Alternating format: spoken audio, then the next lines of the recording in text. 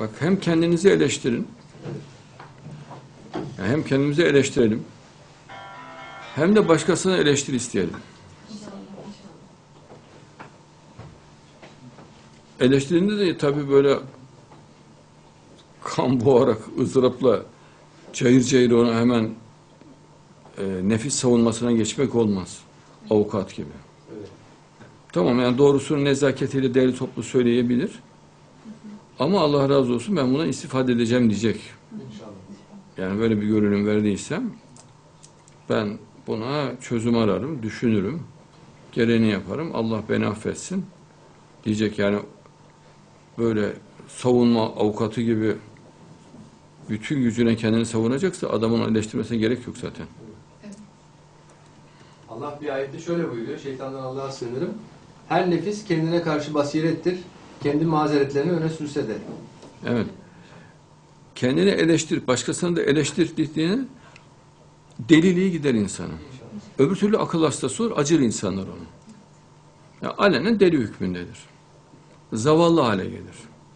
Herkesin acıdığı, gariban, zavallı bir insan olur. Ezik olur. Başarısız olur. İnşallah. Sevmeyi bilmez, sevilmeyi bilmez. Kendi kendini sever ama o da mal gibi gördüğü için kendini, yani kendi sahiplendiği için sever. Yani bir cinnet hali oluşur. Ama öbür türlü herkesi seven, kendini de seven güzel bir hale girer. Bu imkanı iyi kullanmak lazım. Nefsi, kendi nefsini eleştirmek kalabalık içinde. Ama şahısları da eleştirtmek. Evet. Bir de avukat gibi savunmamak. Yani kısaca anlatılabilir değerli toplu. Ama hani böyle bir kinle, öfkeyle falan kendini savunmak değil de yani gerçeği şudur diyebilir. Ama verdiğim imaj açısından ben çok dikkat edeceğim diyebilir. Demesi gerekir yani. Çünkü bir delilik türü oluşuyor. E, şuuru kapanıyor şahsın. Yani bu çok ürkütücü bir şey. Yazık o insan kaybedilmiş oluyor. Yani alenen akıl hastası gibi oluyor. Eleştirilmezse. Eleştir, yani kendini eleştirmezse, başkasının eleştirisini de kabul etmezse. Öyle milyonlarca hasta insan var.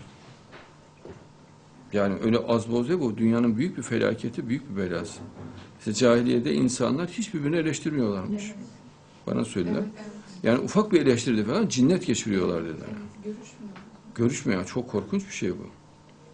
Böyle şey olur mu? O zaman insanın gelişmesi olmaz ki. Yani insanlığın gelişmesi de olmaz. Kalite de olmaz. Nasıl gelişecek insan o zaman? Yani yarı deli kalır ya. Evet. Kendini beğenir beğenir oturur aşağı.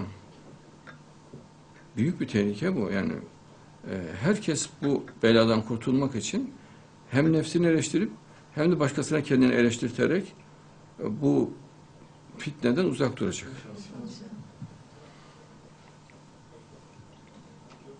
Kur'an'da Hazreti Yusuf'un e, o şekilde bir konuşması var.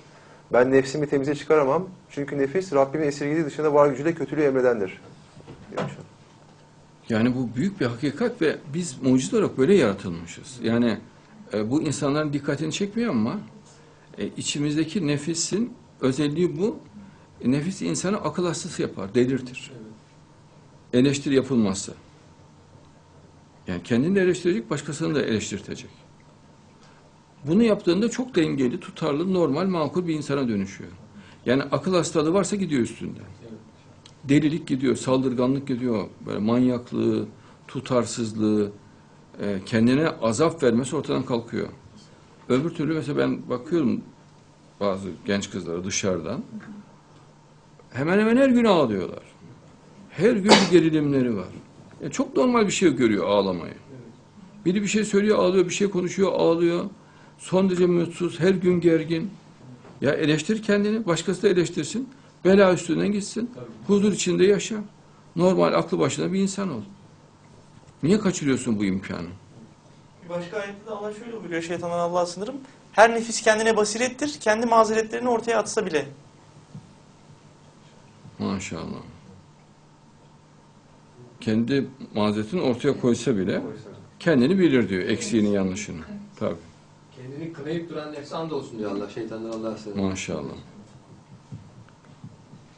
Şu Almanların ünlü yazarı var ya Goethe. Meşhur sözü var. Diyor ki insanların diyor köpekleri bu kadar sevmesinin nedeni köpeklerin insanları eleştiri yapmamasıdır diyor. Çünkü ses çıkmıyor, oturuyor. Onunla konuşuyor, onu eleştiriyor köpeğe. Sağa git, söyle git, şunu yapma, bunu yapma. Değil mi? Şunu bırak, şunu tut.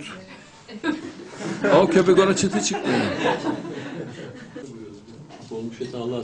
Ya insan gerçekten azar kendini yeterli gördüğünden müstahane. Evet, kendini müstahane, yeterli görüyor. Evet, üstün, temiz, akıllı. Ama bak istisnası mutlaka akıl hastalığı yapar bu. Ve acınacak zavallı hale getirir insanı.